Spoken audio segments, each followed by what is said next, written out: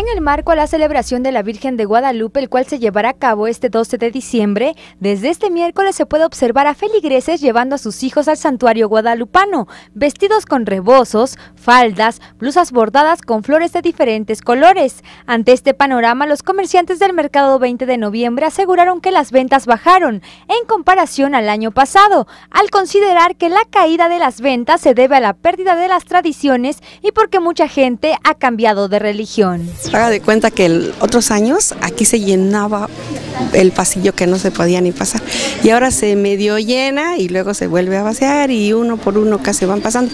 Pero sí, la verdad, otros años ha sido, pero locura.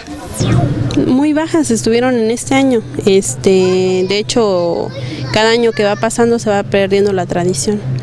Ya este, lo que es en el mero día de la fiesta vienen varios a la carrera, pero ya no es como antes. Con imágenes de José Antonio Reyes para MBM Televisión, Angélica Colina.